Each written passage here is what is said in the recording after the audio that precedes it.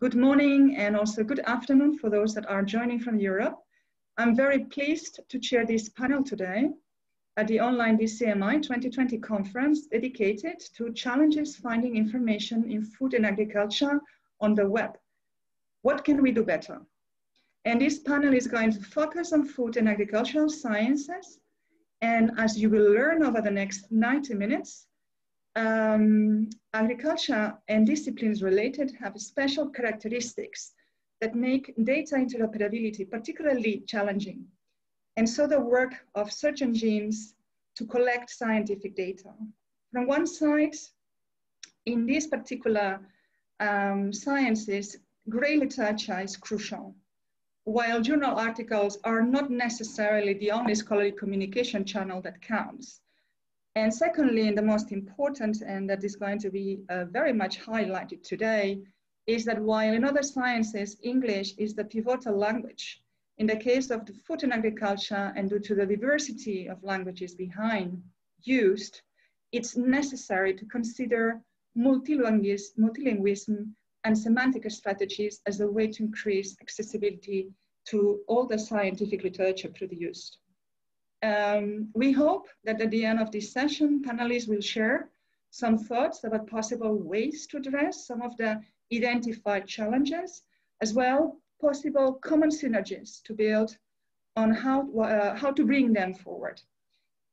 Today we have panelists from the Food and Agriculture Organization of United Nations, CGIAR, Land Portal Foundation, USDA National Agricultural Library, and the Beijing Academy of Agriculture and Forestry Sciences that unfortunately is not going to be physically in this panel session due to time constraints, the time zone constraints, but we have a recording to present the use case that they would like to share with you about the work that they are doing in this field. We encourage to all of you to submit your questions through the chat box anytime. Don't be shy, just share. Uh, if you have any specific request, for one panelist, please add her name at the beginning of your comment. This will make easy to go through the questions and answers part. And uh, don't forget that we would like to hear from you as well. This is an interactive session where we would like also to learn from your thoughts and experiences if you have any in this field or in any other field that you think that could be also of interest for the audience. So this panel will start with a short presentation by each of the panelists, and this is going to bring us uh, or to take uh, more or less 60 minutes. And after that, we will start with the questions and answers. But uh, before we continue with the session, let me introduce myself, uh, because of course, probably you don't know me at all. So I'm Inma Subirats. I'm a senior information management um, uh, at FAO, and I'm the program manager for Agris and AgroVoc, which will be also presented today during our discussion. Said that, you have here in the Zoom all the panelists. Um, we will start um, by the order that was uh, displayed in the announcement of this session. Therefore, I would like to introduce our first panelist, which is Erin Antonioli. Uh, Erin is coming from the USDA National Agricultural Library, NAL, and uh, she um, is uh, the lead metadata librarian and data curation team in the Knowledge Services Division of the USDA NAL. Thank you, Erin, and you can share your presentation. It's over to you.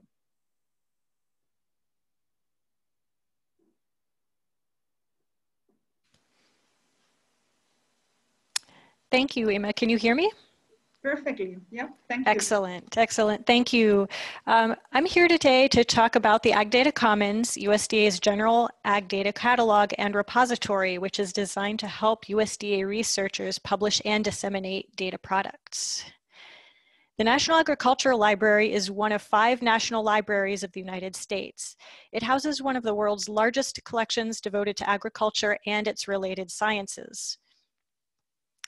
NAL provides a variety of online resources, including journal articles, digital collections, and other materials relating to agriculture. I'm going to focus on the Ag Data Commons for today's presentation. The Ag Data Commons is a catalog and data repository for USDA funded research data. It provides expert services for creating, curating, and enabling access to complete and machine readable scientific metadata. It creates infrastructure for linking information, data, data, publications, people, and more. And it helps the USDA funded research community meet public access requirements.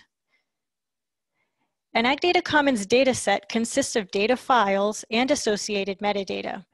We provide tools and services to make each dataset richer and more discoverable.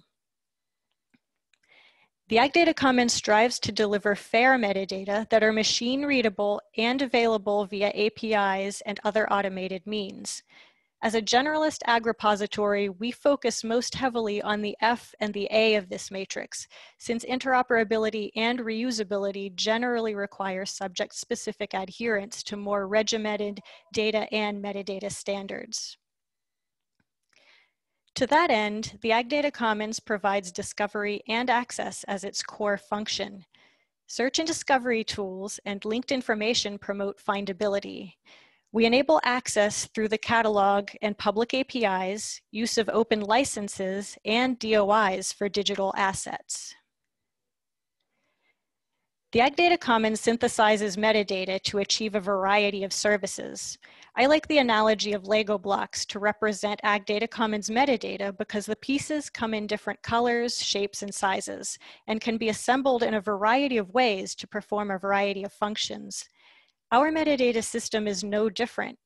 We ask for essential information about the data and rearrange that input to satisfy the needs of each service that the Ag Data Commons offers. We often work with geospatial metadata, which must use the ISO 19115 standard. And this standard underpins our internal systems because it's robust enough to handle the information from the other standards. One use case that illustrates this metadata synthesis includes our work with the AgCROS repository. AgCROS specializes in geospatial data and uses an ISO 19115 flavor of metadata in an Esri platform. We ingest metadata and data by harvesting from AgCROS using microservices architecture according to best practices, and create the Ag Data Commons record and store the data files locally. We then reformat that metadata to the DataCite format and reserve a DOI using an internal system, which then gets added back to the Ag Data Commons record. Finally, the DOI is pushed back to AgCROS for display with their record using a RESTful API. Records tagged with specific bureau codes are also forwarded to data.gov. This way, AgCROS researchers can utilize their subject-specific platform, but also benefit from the discovery and access services the Ag Data Commons offers.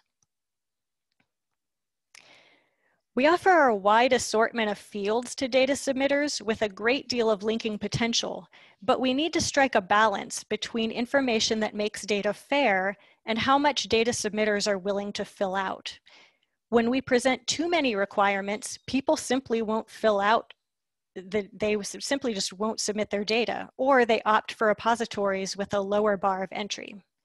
When we allow submissions with too few completed fields, the dataset findability and potential reusability suffers. After reviewing the requirements for the services Ag Data Commons facilitates, we arrived at this core set of essential metadata for each record. This list doesn't account for some of the subject-specific requirements certain research communities may need, but we cover our bases as a generalist ag catalog with this set of metadata. During the curation process, our staff also adds NAL thesaurus terms to Ag Data Commons records. The NAL thesaurus is used to select controlled vocabulary terms for subject indexing in several of the library's databases. The thesaurus is produced in part by the National Agricultural Library, is updated annually, and contains over 260,000 terms. It's available as linked open data for anyone to use. The Ag Data Commons provides the infrastructure for linking metadata and objects to enable analytical tools. We provide specific fields for these relationships to maximize the linking and machine readability of the metadata. This includes different types of relationships between datasets and documentation, author identification links like ORCID, and version guidance. We provide features to promote credit for USDA researchers as an incentive to deposit data with us and to provide more complete records with linked information.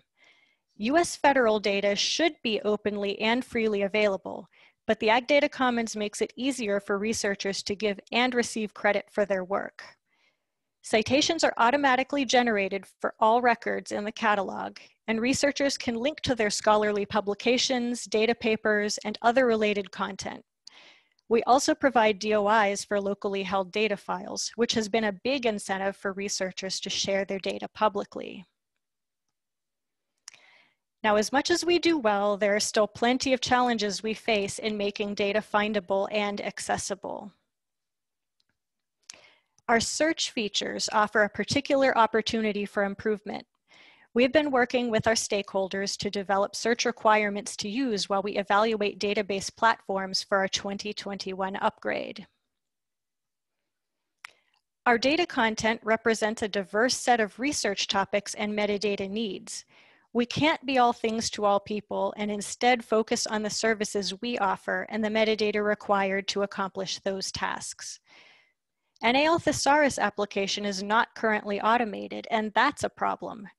We plan to work more closely with NAL's indexing and informatics branch to improve NALT term application and provide better linkage between various library systems.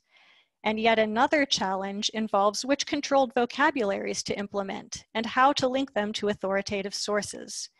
We chose taxonomies related directly to NAL's services, but seek a better and more effective way to integrate controlled vocabularies used by the different subject-specific areas we support. Our metadata enriches our data sets, but doesn't always make them more discoverable outside of our own platform. Some of this relates to infrastructure and some to culture. For instance, ORCID accounts can automatically link datasets with DOIs we issue from their author profile pages, but many account holders don't turn on that feature. We can capture rich information, but strive to increase the linked information we provide. To that end, we work to convey the value of linked information to the researchers submitting the data. More fields often represents more burden for data submitters, so we look for ways to make the submission process easier and to communicate the added value. As information professionals, we understand how complete and linked information enhances datasets.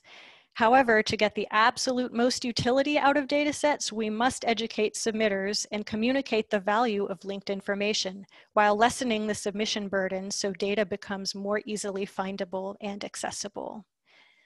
Thank you. Um, that's my presentation. Here are a few of the links that I um, showed throughout my presentation, and I will hand it back to Emma.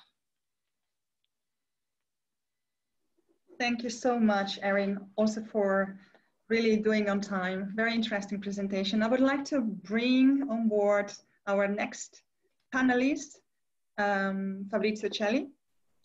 Um, Fabrizio is part of um, the team that is managing Agri Agris, the international system for agricultural science and technology. Actually, he is the technical leader and uh, he is working for the Food and Agriculture Organization of United Nations. Welcome to the panel, Fabrizio, and over to you.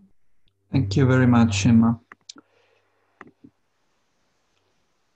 Okay, uh, in this session, uh, uh, we will be looking uh, at how Agris is addressing uh, challenges in finding and integrating research in food and agriculture. I want to give you some background about FAO and AGRIS. FAO uh, is the Food and Agriculture Organization of the United Nations, and it's the organization that is maintaining AGRIS. Uh, FAO's goal uh, is to uh, lead international efforts to defeat hunger and to improve nutrition and food security. It was founded in 1945 and the headquarters is in Rome, even if FAO operates in over 130 countries. In 1974, uh, FAO set up an initiative together with uh, member countries uh, to uh, make information on agriculture globally available. the outcome of this initiative was AGRIS. AGRIS is a, a database um, of almost 12 million of multilingual bibliographic metadata on agricultural research. But it is also a big network of, um, as you can see, 434 data providers from 150 countries. Uh, the uh, importance of Agris is also given by the fact that it's highly used. Uh, so according to Google Analytics, uh, Agris receives around 8 million of visits per month uh, and is accessed from all over the world, uh, 200 countries and territories. Before talking about the new challenges that Agris has to address, uh, I want to I want to describe a little bit how uh, the data providers, the Agris data providers, changed over the time. So at the beginning, uh, in 1974, uh, governments uh, uh, designated official agri centers whose role was to collect all the scientific production in their country and to send the data to Agris. Then uh, from 2005, Agris started to accept uh, also data from institutional repositories, from publishers, and from aggregators.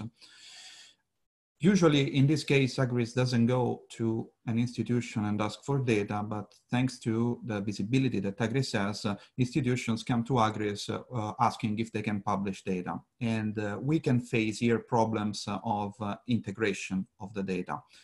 On the other hand, uh, with the evolution of the technology uh, and also of the open access institutional repositories, Agris uh, has to cope also with problems related to automatic discovery, automatic harvesting and processing of data and metadata available on the web. So just to summarize, uh, uh, there are two big uh, areas in terms of challenges on one side, we have the problem of the integration of new data. So when there is a new data provider, there are several problems uh, to be solved uh, in order to guarantee that the metadata can be correctly published in Agris and that can benefit of all the features that give a lot of visibility to Agris data. So for example, uh, considering uh, the variety of the data providers and the fact that they come from all over the world, uh, they always use different metadata formats and different standards. And most important, uh, uh, there are very different levels of metadata quality. So while there are data providers uh, who has metadata, very rich metadata records, uh, on the other hand, uh, we can find uh, some data providers with very poor records. And this, of course, create a problem of balance inside the Agris database. Other issues are, for example, related to the full text links and also the stability of the links. Agris uh, uh, always suggests to add the link to the full text.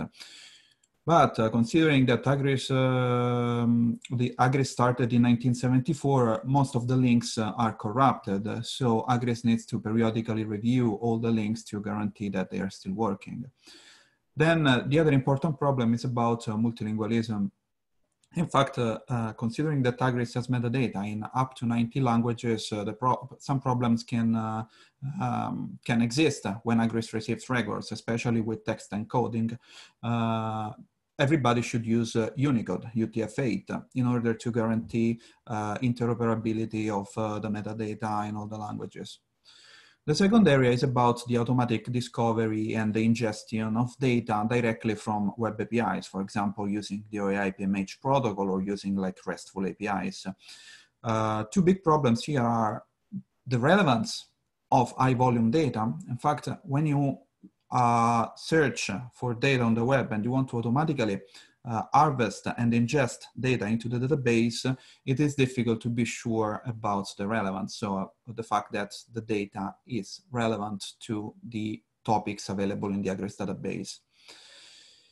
The second issue is related to content classification and to the integration of uh, this data automatically harvested from the web. Now, about the data integration, Agris uh, has set up an orchestration of uh, uh, software components, even if at the beginning we have a, a manual validation of the metadata. So the, there is a physical person who receives the metadata and checks the metadata uh, for, uh, in order to understand this. First of all, it is relevant to the Agris domain. And second, if uh, um, there are semantics error, for example, or problems with encoding. This is something that is possible for regular data providers, but not uh, when metadata are automatically harvested from the web, because there the volume of the data is very high and it's impossible to do this manually. Uh, after this is done, uh, uh, Agris has a lot of processes to convert and harmonize uh, all the metadata from a lot of formats to an Agris internal format, which is Agris AP, and then to perform some operations like data cleaning and metadata enrichment in order to reach the final version of uh, the, the record, which is the Agris RDF. So uh, this allows Agris to enable the usage of linked open data technologies. So Agris uh, is not uh, giving any suggestions in terms of uh, input uh, metadata format. Um, Agris tries to accept everything, even if there are several challenges here. Poor metadata, so like uh, missing metadata fields. Uh, lack, for example, of controlled vocabularies, wrong usage of metadata properties, and as I told you, in case of multilingual records, also problems with encodings. This is why Agris uh, uh, recommends uh, to consider the LODEBD recommendations, which are recommendations in terms of uh, uh, metadata properties to use and also in terms of vocabularies to use. Uh, and uh, they can help to standardize uh, a little bit the situation and to help the integration of the metadata coming from such a variety of data providers of course, uh, it's important to build also some capacity development. development. Uh, this is uh, because Agris uh, has learned a lot over the time, and uh, the only way to help data providers uh, to produce better metadata is to train also data providers. So the first step is email exchange. So when there are new data providers and Agris understands that there are errors or semantic errors or other kind of problems, there is is a, a, chain of email exchange with the data provider to guide the data provider to produce better, uh, richer, and meaningful metadata. Then there are also webinars, guides on the websites, and uh, recommendations, as I told you before with the LODEBD recommendations. Now, an important uh, piece of the Agris infrastructure is AgroVoc. This is a control vocabulary covering all the areas of interest of FAO. It's translated into 39 languages uh, and uh, it's the backbone of Agris. So this is used, for example, to help Agris with automatic data discovery and classification. AgroVoc, in fact, is used uh, within some machine learning algorithms uh, that allows Agris to understand the relevance of the metadata which are automatically harvested and downloaded uh, from the web. Plus, AgroVoc is also very important to enable a lot of additional features on the website, like the multilingual search, like the improvement of the precision and the recall, like the possibility to connect different resources, so using linked open data technologies. And as I told you also uh, in uh, several machine learning algorithms, both to determine the relevance of harvested resources, but also to classify resources according using uh, this multilingual thesaurus. And uh, that's it from my side. Thank you very much. Thank you very much, Fabrizio. So we move uh, now to our third uh, speaker, uh, Xiao Ping, is from the Institute of Agricultural Information and Economics at the Beijing Academy of Agricultural and Forestry Sciences. She's responsible for the construction of agricultural information resources, data sharing, information analysis and semantic technology, technology research. As I mentioned before, unfortunately, she is um, she couldn't attend this panel session. Um, I'm not sure whether you can all all of you can share can see the video. Yes. Okay. Could you confirm as well that the, you can hear the sound? Hi. Yes. I'm Qi Xiaojing from. Okay, so I will put the video now. It's about uh, nine minutes, and then we will move to the next panelist. China.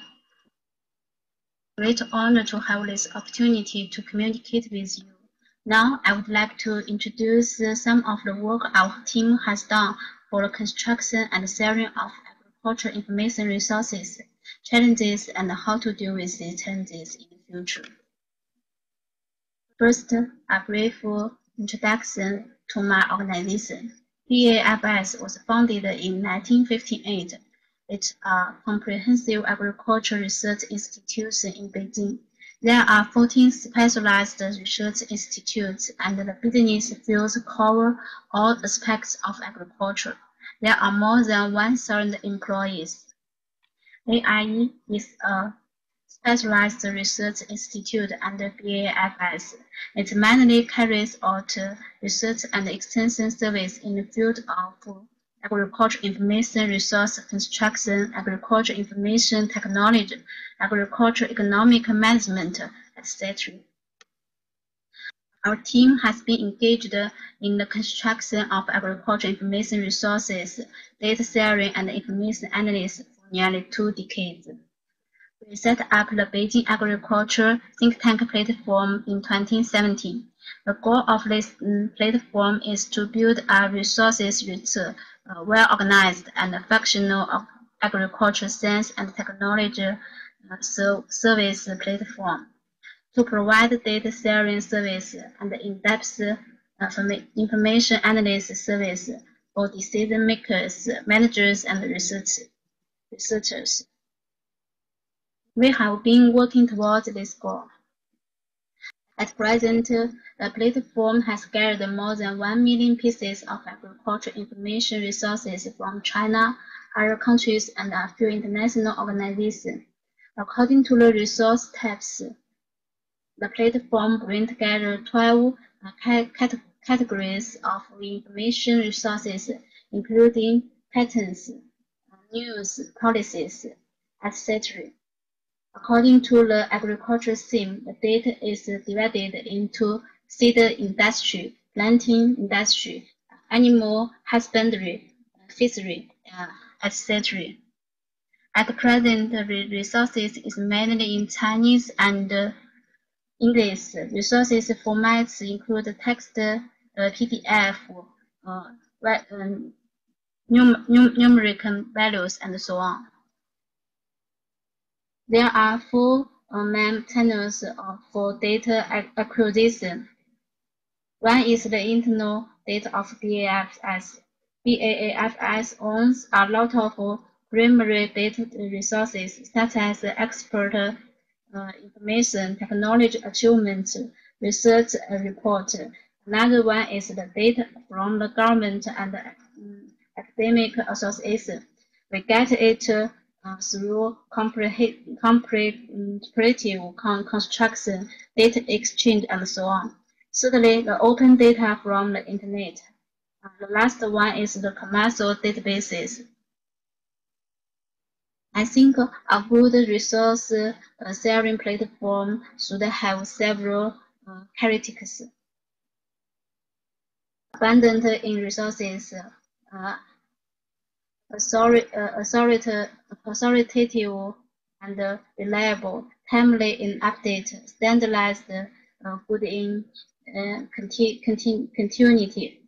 For data uh, uh, specification and data organization, metadata and semantic are key. Metadata can change the uh, chaotic data into standardized and available data uh, facilitate uh, data management and data quality assessment, facilitate data integrate and sharing. Semantic uh, te technology can deeply digest and many um, potential relationship among data and can be applied can be applied to resource retrieval, resource recommendation, data association, data discovery, etc. We have also have um, done um, some uh, preliminary work in the regard. Metadata standards has been established to um, standardize the data processing and management. A core metadata model of agriculture information resource database uh, dataset is established by fully considering uh, the metadata content necessary for data content, data display, data management, etc., including uh, include the title, subject, abstract, uh, keyword type, provider, uh, etc. On the basis of common metadata, different databases extend and add their own unique metadata fields so as to form the metadata standard of this database such as Science and Technology Project Database implies the project uh, commitment unit, funding amount, project time, etc. In the end, we developed uh, 12 types of metadata standards. When resources are collected on the platform, they are converted into standardized data and stored uh, into in the database through format conversion, uh, data cleaning, metadata attribute extraction, metadata extension, and other procedures. STKOS is adopted as the base vocabulary of knowledge organization. STKOS is a super vocabulary of science technology, uh, edited by NSTL, CAS, STSC, CAMS, CAS, Currently, STKOS has collected more than 240,000 agriculture terms and more than 90,000 concepts. STKOS is used in platform data retrieval and keyword extraction. Challenges Agricultural information resources are limited, and China's agricultural information resources are the main resources. Data uh, formats are varied and most are not submitted according to the metadata standards. Poor metadata qualities, abstract keywords, themes, uh, etc. are often missing. Are often missing. Metadata attribute error, a low level of automatic and artificial intelligence.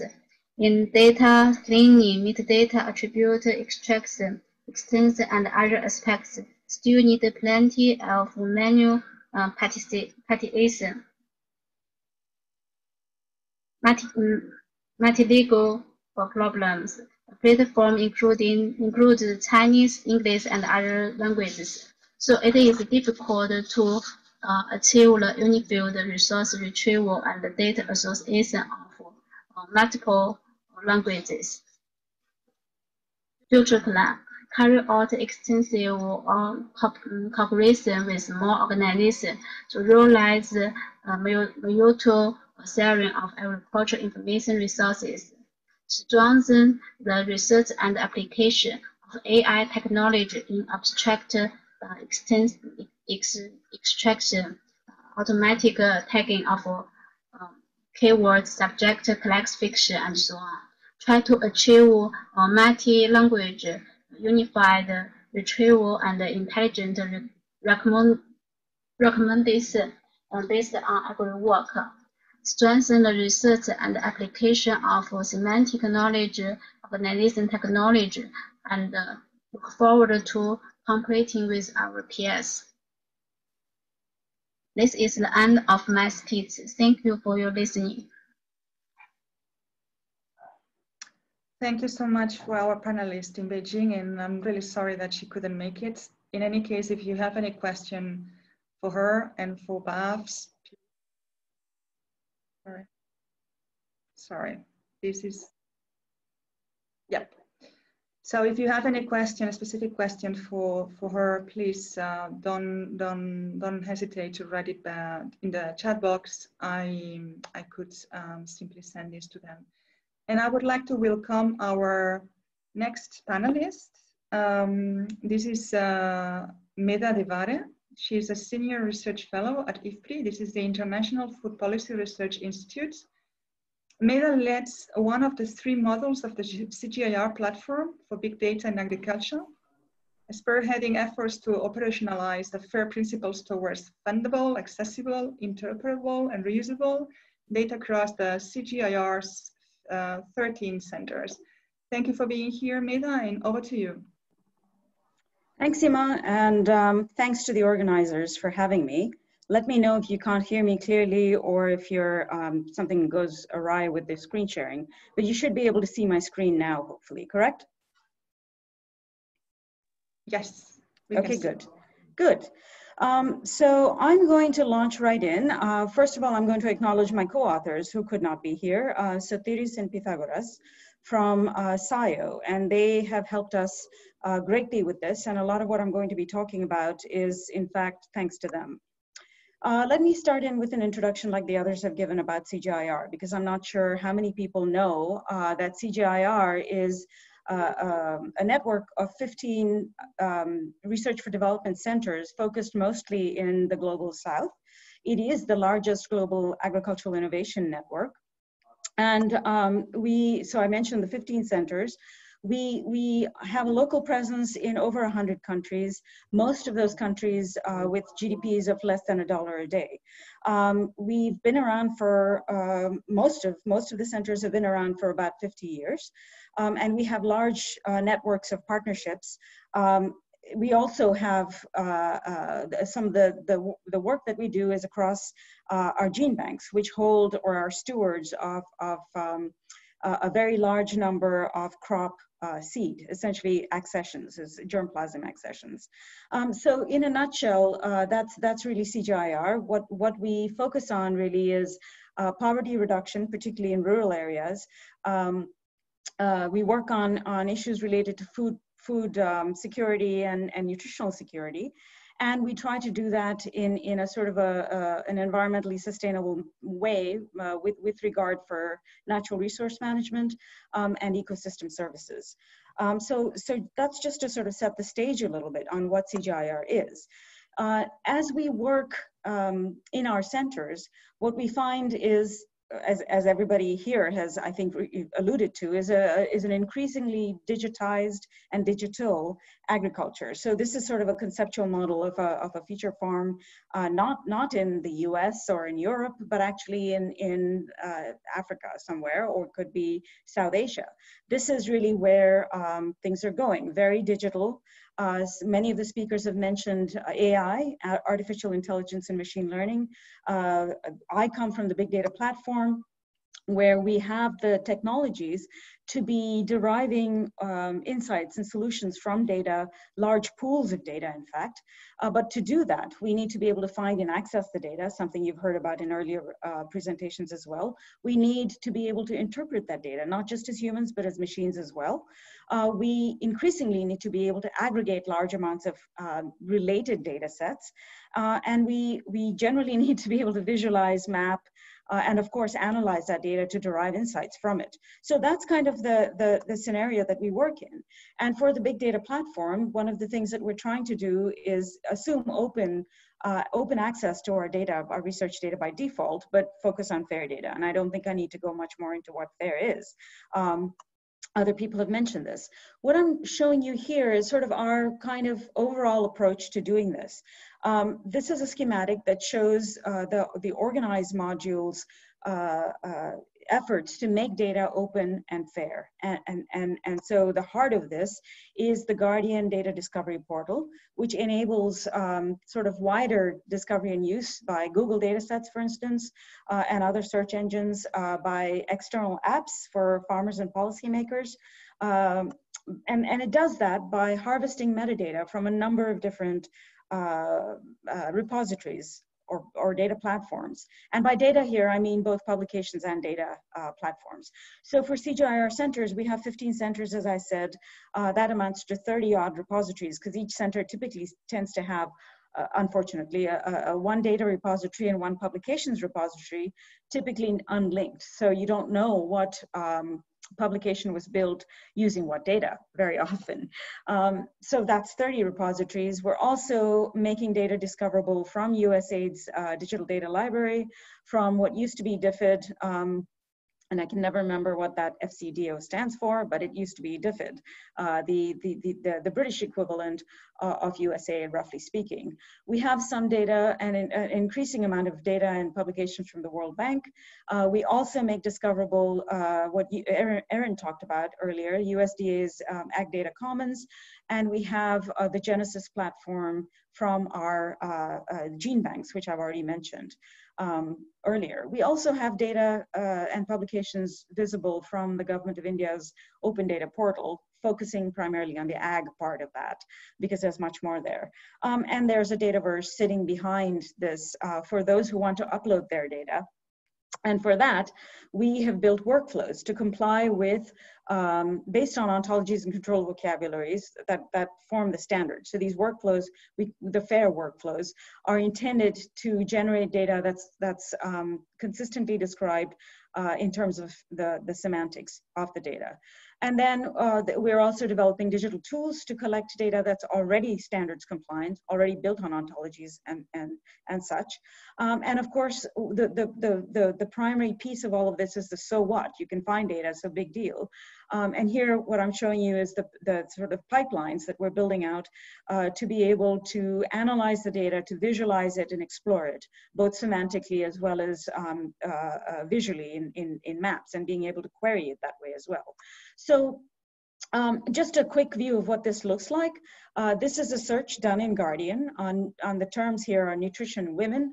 Uh, the idea is I want to find data on nutrition as it affects women. So I go to GARDIAN, I type in those keywords, and here you see a quick um, grab, um, which um, you see data coming from three of our CGIAR centers, IFPRI, ILRI, and CIP, as well as FCDO, which used to be DFID, um, USAID's DDL, uh, data.gov.in, and you may not be able to see the bottom one, which is the World Bank.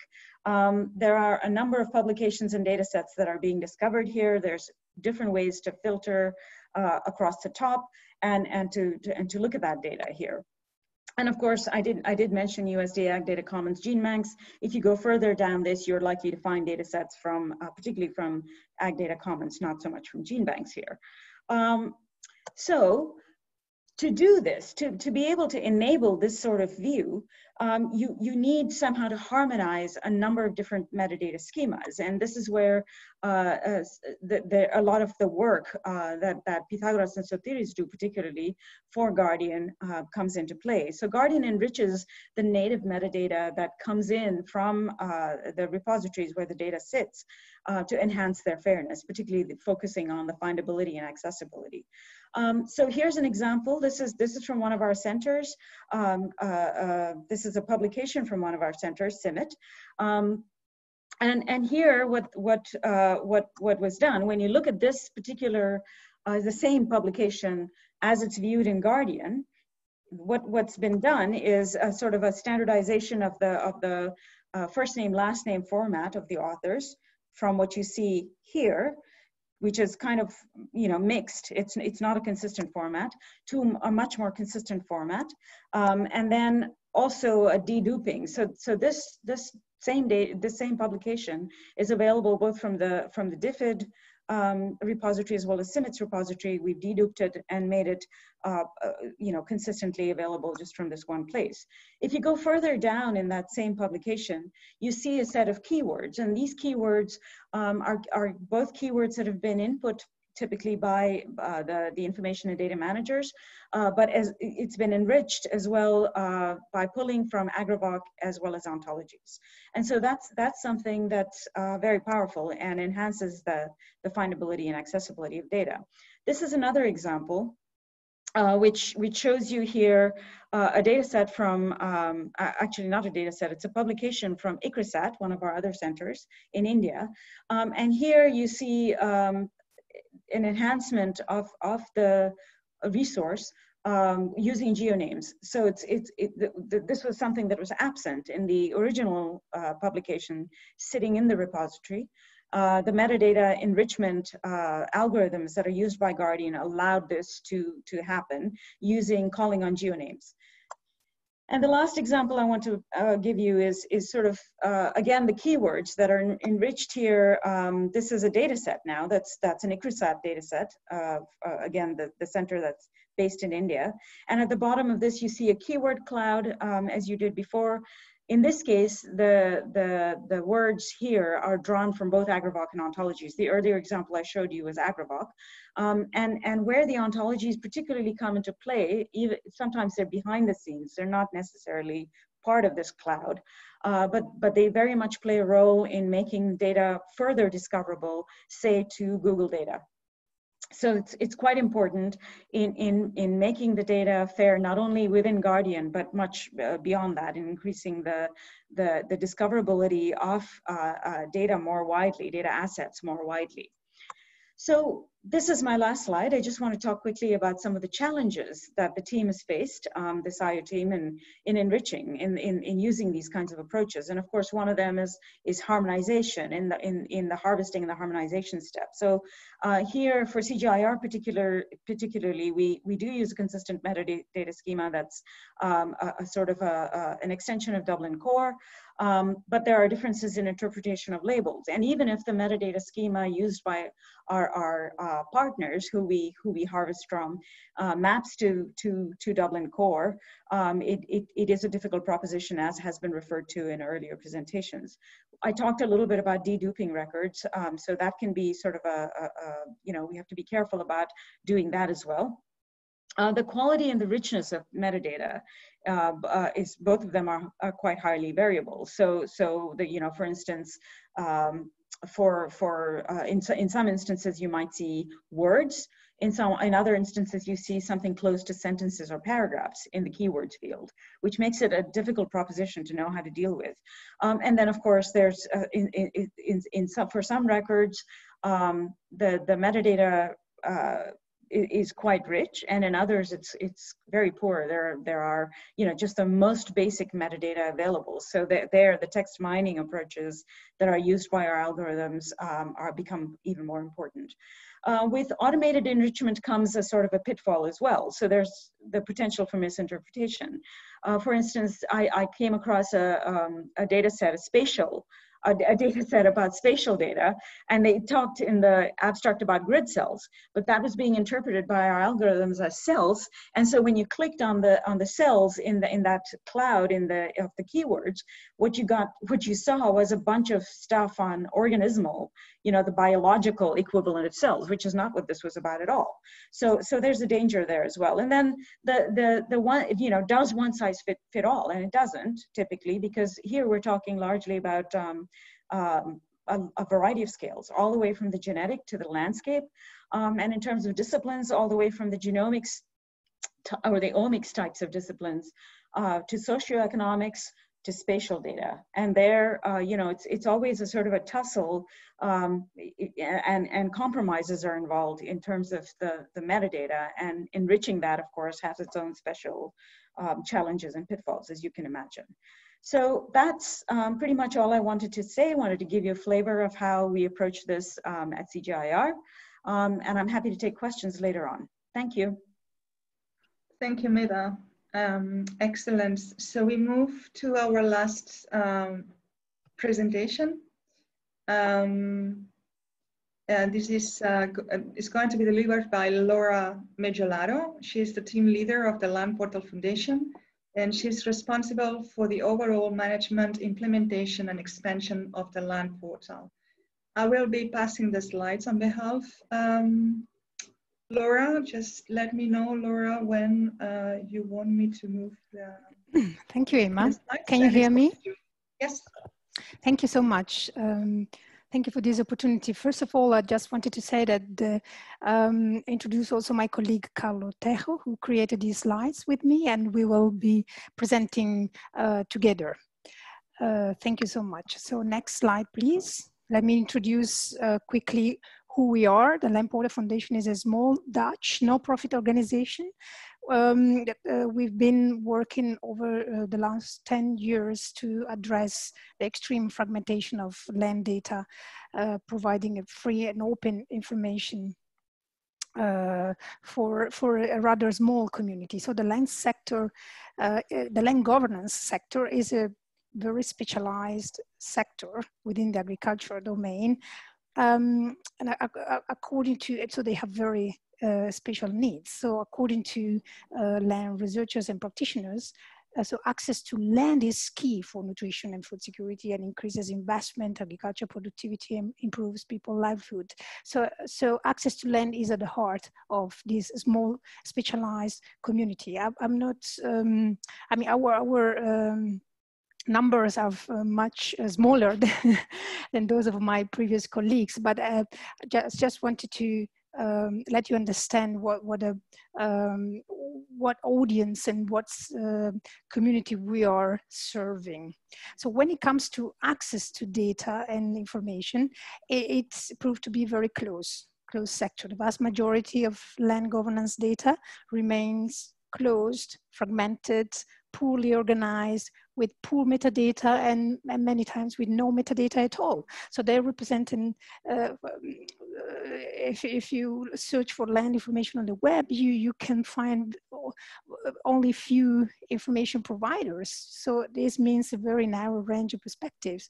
And content kept to be published in a way that is not doesn't facilitate discovery discovery engagement and reuse so because land is a cross-cutting uh, issue and very um, politicized. So analyzing land governance often means looking at not only different data types, but also diff across different domains. So it, it also involves um, looking at different data stakeholders. So, so not only academia, so research data, but also the data provided by governments, um, civil society or private sector, um, uh, data providers, so different, with different degrees of data capabilities. So our response to this extreme, extremely um, uh, fragmentation and, and accessibility of information is twofold. So on one hand, we develop and nurture a multilingual platform, landportal.org, that hosts wide range of um, organized country issue data set pages where we aggregate and pool content data um, of different types, such as bibliographic data, uh, statistical indicators, um, spatial layers. Uh, we create a repository of uh, experts and sector organizations, media content, uh, especially from southern um, countries. And on the other hand, we try to build capacity, data capacity in the sector and also um, um, a data infrastructure. So in a few years, the land portal has become a leading online destination for data and information in the sector. So we have three main um, systems. Um, we have a geoportal that aggregates spatial layers, a Drupal website that aggregates uh, bibliographic data and media content, and a triple store for statistical data. For the purpose of this presentation, we'll mainly focus on the land library. That is a Drupal instance where we maintain and create a repository of land governance related resources pulled from multiple sources, enrich the metadata and map to semantic standards. So next slide, please. This is our uh, land library. So it includes, again, uh, for us it's, a big number 61,500 selected resources but I recognize that is a very small number compared to uh, previous uh, repositories but is um, this content is uh, either published directly by our community of users or ingested through automatic um, importers most are metadata um, but uh, sometimes we, we, we upload the, the, the, PDF, the resource as well. So as, as you can see, is um, is a very small and uh, repository that select uh, content for a specialized community of uh, experts speaking different languages from different geographies. So we pull resources from uh, a number of uh, different sources and improve the quality of native metadata. And at the same time, we also encourage partners to publish metadata and better metadata. So in our library, we adopt a customized version of the meaningful uh, bibliographic metadata, M2B, to provide users even more um, um, information about the, the, the, resources that exist in the, in the library. So these um, custom adjustments to the M2B um, include, for instance, making some fields mandatory, such as the, uh, the subject field, um, and, and, mainly because we also curate um, a, a, a, semantic set, set of uh, controlled vocabulary on land, which is part of AgroVoc. I will explain in a few minutes. So we also assure the quality of these metadata by including license, language, geographical focus that is very important for our audience.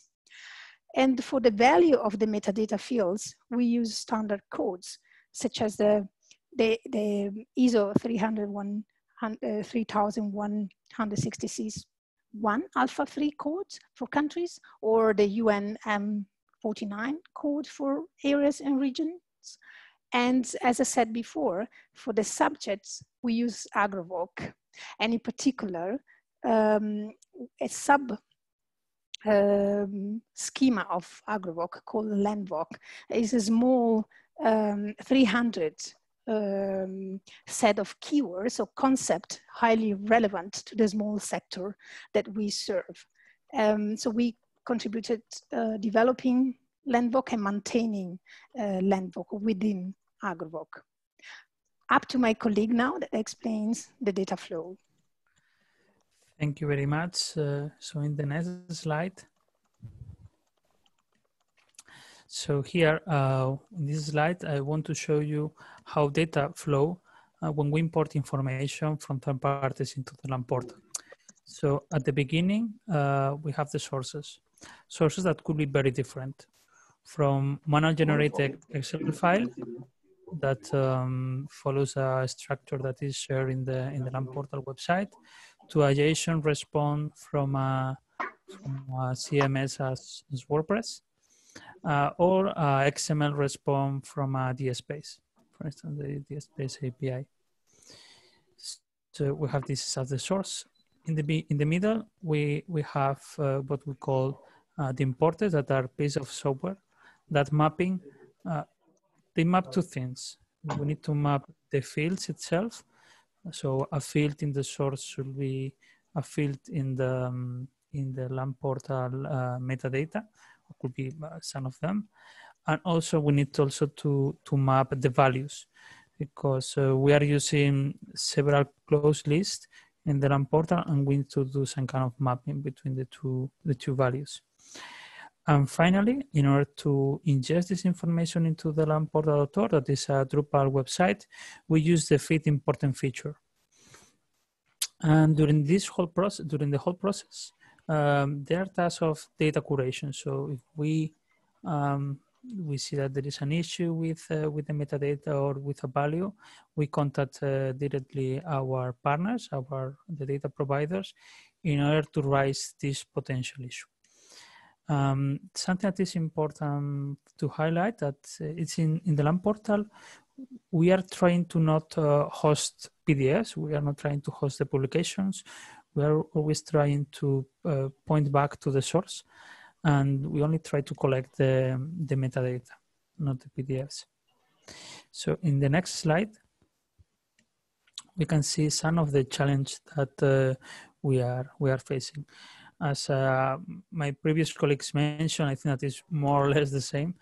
That um, we have very different sources so as as um, we need to deal with different uh, sources, um, some common challenge arise. So the first thing is to find relevant uh, relevant information. Uh, because our sector is really small, so trying to find information is is not easy. Uh, after that, it was okay. This source is is interesting. Uh, have relevant information. So what can we do? How many documents this source have? So if, if there are too many, maybe we can go to a machine approach, uh, working with some kind of software uh, Python importers, or maybe we need just to, to fill uh, the metadata in a spreadsheet and ingest it. And uh, well, the CMSs that uh, the content management systems that are behind uh, uh, the organizations, the data providers are very different uh, in terms of um, of the um, CMS itself, or maybe it could be a, an HTML page, and also the version. Uh, and uh, working with different CMS and different versions make us the, to change the, the approach each time. And also the type of uh, format, the data format of the source could be like RDF, CSV, XML, JSON files, RIS, very different. Also the metadata mapping, we need to do one by one. Okay, this field, um, imagine that uh, in the source we have um, uh, a DC contributor, maybe in our website could be or should be an author. We need to do this kind of mapping and also the data values. Um, another challenge that we have is the multilingualism, uh, mainly for the data curation, because uh, we can understand more or less uh, some languages, but other languages are out of the scope, and sometimes you don't know if uh, there is a problem or not in the in the quality of the data. Um, last to mention is the, that we use uh, LandVoc as uh, for tagging the content, and not only for tagging the content. We are also using uh, LandVoc, that is a subset of uh, a concept of AgroVoc, also for harvesting in order to find um, relevant sources. So trying to map sometimes uh, the source to this LandVoc is a, is a challenge. And now I give uh, back the floor to my colleague Laura. Next slide, please. So to conclude, uh, we learned that what we learned over the past 10 years is this is a very uh, challenging sector because it's absolutely uh, fragmented. Data information is, is, is highly fragmented and enclosed in silos. So what we usually recommend to our data partners is to to uh, have an, uh, an open as default mindset and follow FAIR principle. So the capacity development is as important as maintaining and curating um, uh, common open repositories. Uh, we, we, we recommend to use standards in data, any metadata, uh, to share the data met metadata model um, establish channel for, for continued feedback and collaboration with our partners. So it's more a partnership rather than um, as serving uh, uh, kind of uh, an audience. But one of the most important lessons that we learn over the past years is that collaboration is key. So collaborating with um, like-minded organizations like those that are sitting in this panel uh, today in the sector is, is very important. Joining forces to improve accessibility of scientific literature, promoting the use of standards, uh, spread best practices, um, promote and build capacity development. Um, and, and, and also another key lesson is uh, building on, on what already exists without reinventing uh, um, things like uh, reusing existing semantic vocabularies, for instance, and build communities of practice around uh, those standards to help improving, constantly improving and promoting them. This, this is very important. It's one of the most important lessons I wanted to share. Thank you very much. Thank you, Laura, and thank you so much, Carlos. So I think that we are, uh, and thank you to all the panelists. I think that you did a great job. It's uh, six uh, to six here in, in the European Eastern Time. I presume it's 12.06 in Washington, DC. So uh, thank you so much to all of you. So we can start now uh, what we call the questions and answers. Um, I haven't seen too many questions from the audience. Um, but I will encourage you once again that if you have any um, any kind of um, yeah question to, to for any of the panelists, please use the chat box, and uh, uh, we will answer as soon as possible. In the meantime, I have some questions for you, for all our panelists and uh, I was uh, I would like to put them on the table and perhaps to have a kind of a round and to know a little bit what all of you think about, um, I mean, uh, these, uh, these topics. I, I, think that in some cases you already mentioned uh, how crucial to recommend and, and to promote good practices is, um, are, let's say, in, in our domain as much as it happens as well in other domains. But what recommendations specifically you think that we could provide to organizations uh, to enhance this visibility of their resources through the improvement of the quality of metadata? What kind of steps would you suggest more specifically that we could do to help them or what you would recommend to them? I think Laura, you were very specific in your presentation right now, talking about a specific community that you are targeting. So maybe do you want to expand a little bit more what you mentioned before? about these kind of recommendations that you are preparing for, for instance, workshops or um, publications, videos? Yes, of course. Um, as I mentioned, uh, the building capacities um, goes hand in hand with building the, the, the sector infrastructure. So uh, on one hand, we work with the, the AgroVoc team to develop LandVoc as part of, of the general infrastructure. And then on the other hand, we build capacity through uh, MOOCs or workshops or tutorials for people to improve their um, knowledge management capacity or their data management capacity. So we encourage them to, to, to create metadata, to enrich their metadata, to uh, expose their metadata in the right way, to use standards in their metadata fields. Um, that's and, and building a community that supports those best practices is, is very important.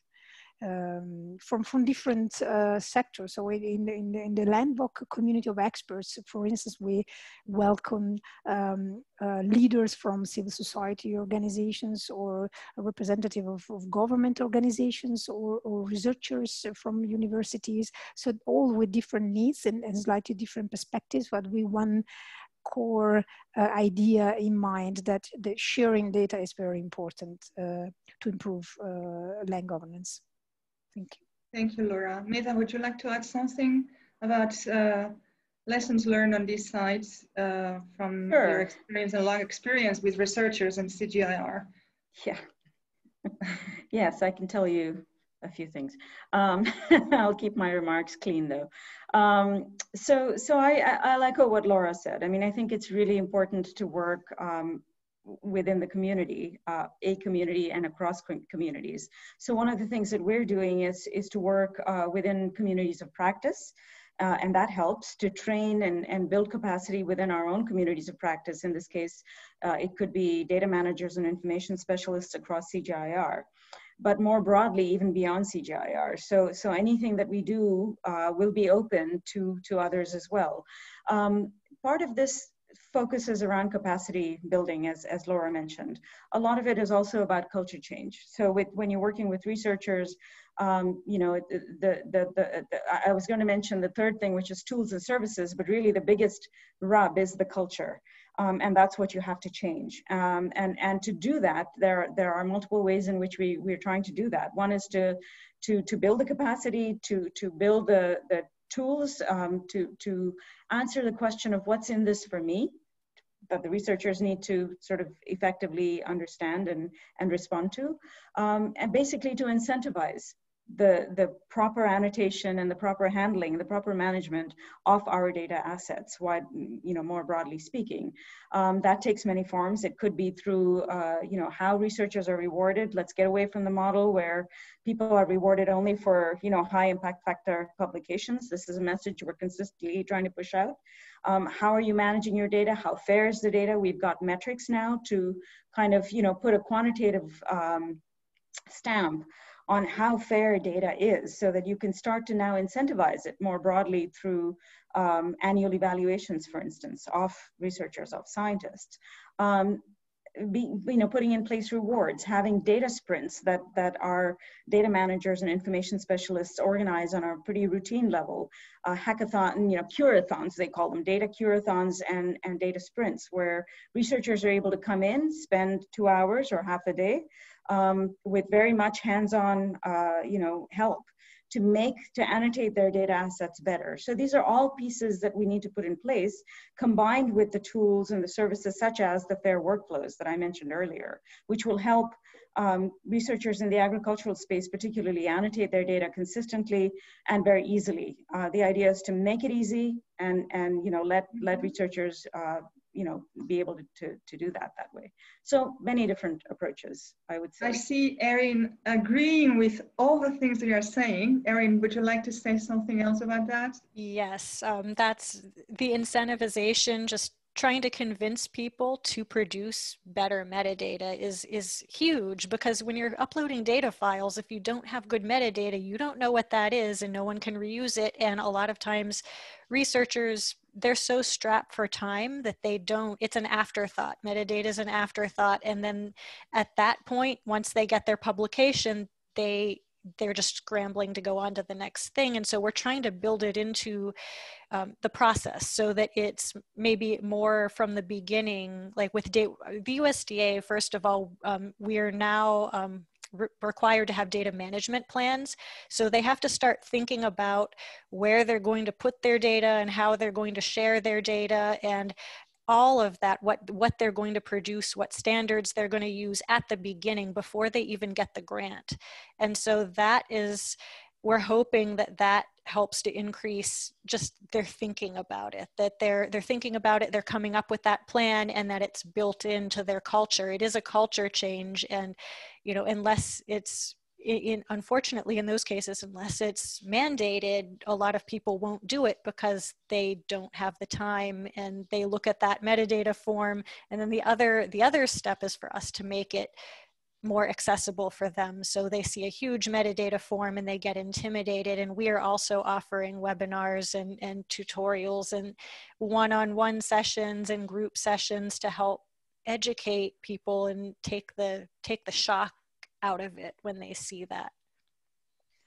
Right. And may I add just one word? I, what Erin is saying about culture is absolutely important. So the, the, the, the, idea of sharing data is absolutely an attitude. And we notice that people, for instance, they don't think about the license of, of, of their data. And if they don't put any license, that's, that's closed by default. So, but they don't put the license just because they don't think about it, not just, not because sometimes they don't want to share the data. So it's really a, a change in the attitude of how people deal with data and they don't think about sharing um, a, a, data management plan before they start working on a publication. When they finish a publication, they think their job is done. And, and, and they don't realize that if they don't share it, they don't make it open, mm-hmm. then it's, it's not really useful.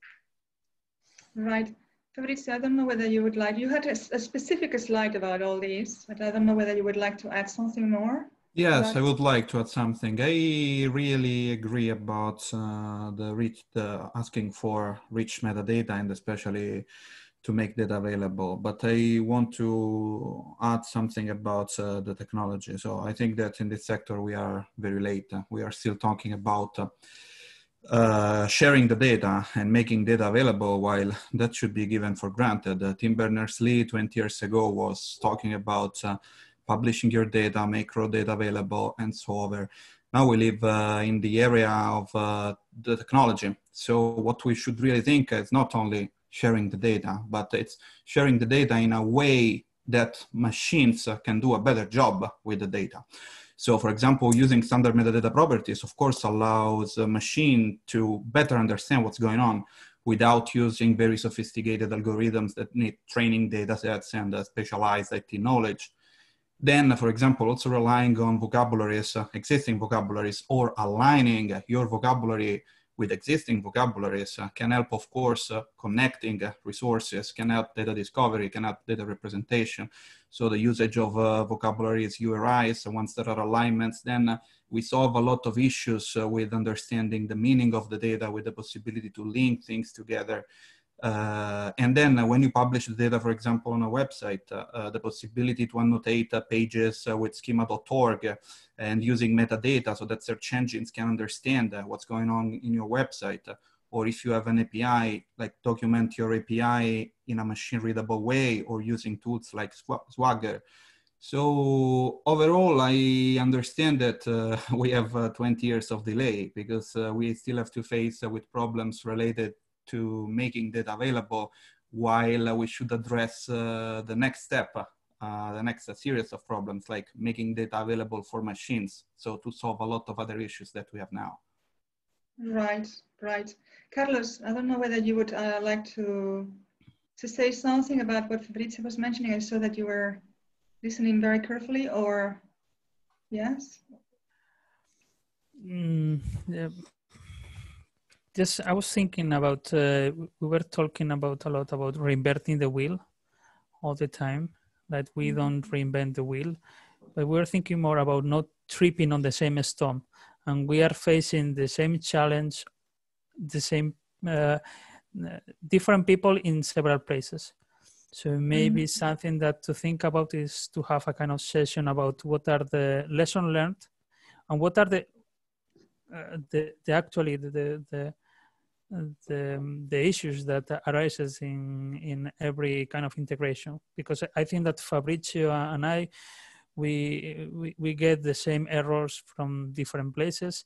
Um, mm-hmm. Sometimes if you have this lesson learned somewhere, you you will overcome these uh, these issues uh, faster um, yeah and quicker yeah right so this brings me to to another question that is more about a suggestion so because i see that we all have the same problems and in a very similar way. So i'm just thinking what um, what kind of next steps we could take as leaders of, of, of important information systems in agricultural sciences to join forces to, to really uh, um, work on um, together to, to, to, to, um, to let's say overcome with these, these, these challenges or there is any activity, do you think that we, there is any kind of a, um, context where you think that we could simply make sure that there is this duplication that even Carlos was mentioning in another area, but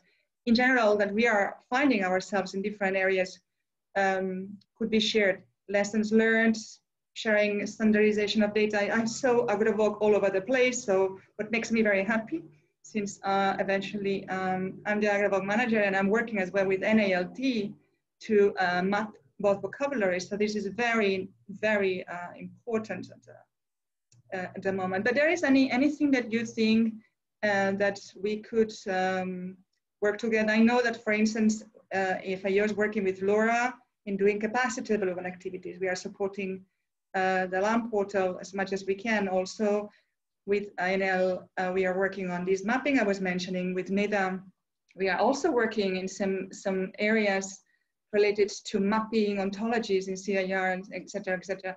This one of some of the areas, but do you have anything else in mind that you could you think that we could do together to improve this situation that we put on the table today? I, I, have a thought about that, and it actually relates in part to something someone just typed in the chat about um, dealing with rigorous standards and metadata standards for different um, subject areas. And that's one challenge that we have. We're dealing with genomics data and life cycle assessment data and ge geospatial data, and it's all ag related.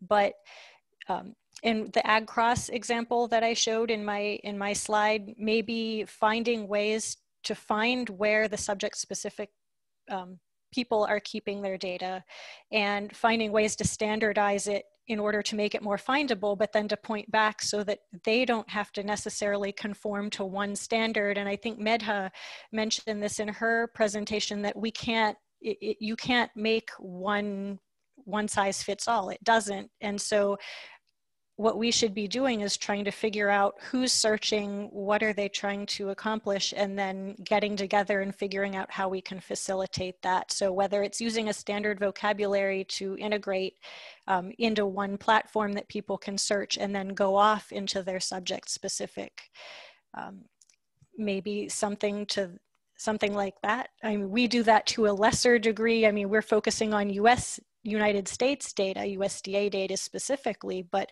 um, some of you are aggregating what we collect. And so yeah. if we can feed into that, I would love to know what would make it easier as you're taking in our data to make it more discoverable you know, on a larger platform. Right, okay. Do you have um, any other comments, Medha, Fabrizio, Laura, Carlos? Sure. I mean, one of the things that occurs to me is here we have, you know, some of the, you know, fairly, some fairly important platforms in, in agriculture um, and repositories. I mean, we could rope in a few others, perhaps World Bank, for instance, and a, and a couple of other entities. Uh, but it would, it would perhaps be helpful to together develop um, a framework or a set of principles that that we stamp with with our presence essentially with our organizational uh, presence and and float out there as as sort of guidelines um, along with attached tools that that people can choose from it it doesn't have to be your tool or my tool we don't have to choose among them but we we make make it possible for people to not only see what what best practice really might be or is really, but but also how do I actually make it simple for me? You want me to do this? Tell me how to do it, and I'll do it. You know that that sort of approach needs to be uh, could could perhaps be helpful. Um, the other thing I would say is, you know, in terms of in incentivization, one of the things that we're doing um, that that I'm trying to figure out how, how this group could work um, together on is one of the things we're trying to do is show researchers what the value is of well described data what can data science do for you? And so one of the, you know, one of the sort of the small projects that the big data platform funded through the organized module is, uh, you know, answering the broad question of, you know, is fertilizer use really, really um, profitable in Africa? We all go with the assumption that it actually increases yields, but does it actually uh, translate to profit? And if so, where? And so this was done using GARDIAN. Uh, they, you know, the, the researchers, a team of three primary researchers found uh, 200 data sets in GARDIAN, 760 locations, and they were able to put, you know, uh, use machine learning over this kind of data pool, this, these data points, um, to derive some insight, and and actually found that it's not always, um, you know, even where yields are very high, profits can be very low because it depends, of course, as you might expect, on on uh, market value of the of the crop, uh, on on the price of fertilizer, et cetera. So being able to pool all of these data and spatially, you know, um, identify where where fertilizer is useful is one of the key things that we sh- you know that's that's a key question mm-hmm. for for um, African agriculture. And and we can do that uh, and and once researchers see this kind of thing being done they get really excited about it. So can we then uh, you know with these growing data pools come up with these kinds of use cases? That would be very interesting I think in terms of changing hearts and minds Right. Yeah. Yeah. Well, yep. I sorry. Go ahead. Oh no, this uh, this example is uh, it's very it's very nice, and I think that this is the last uh, step of of the chain because as far as I see now, there are two two two two different groups. So there are the producers of the data, and uh, as we are saying, uh, we can ob oblige them to use a common standard, a common format. They produce the data as they can produce it.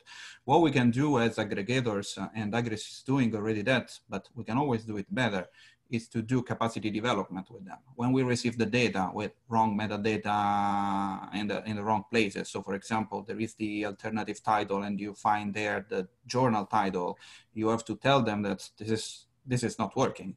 So this is the, the first thing that we can do, work uh, with the producer of the data and uh, uh, help them to produce something better all the rest uh, is up to us. So uh, the harmonization of the data, the metadata enrichment, uh, we have to, to do an effort.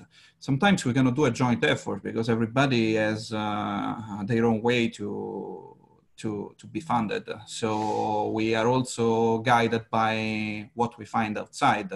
But what we could do is to to work together to like recommendations that we can use uh, that we can use all together when it's time to harmonize the data when it's time to give some uh, not truths but recommendations to publish the data and to make that available. Because then at that point there is the third step that Medha was saying and all this will help the usage of the data to discover to create new knowledge and to, dis- to discover new things. But as aggregators, we have a responsibility to guide the data providers and between us, uh, even if uh, there can be like uh, political and institutional problems to, to at least uh, write down some guidelines that we can all follow. Well, we, we belong to a very small um, community, so um, we always um, uh, we always um, had a major uh, benefits from collaboration, collaborating with other um, uh, aggregators and within a wider so sector like the agriculture sector i certainly welcome the idea of developing common tools or guidelines facilitate to facilitate interoperability and raise awareness um, and and to me is is also a matter of um, making um, I mean, one of the incentives, for instance, in my opinion, is really demonstrate what the consequences of a closed data environment are, what a closed data environment will look like, and why a more um, interoperable uh, data environment is, is then more democratic. So this is a kind of a, the um, the argument that we bring to the table all the times is mm-hmm. um, making data visible, interoperable means uh, making the data landscape more democratic mm-hmm. and diverse.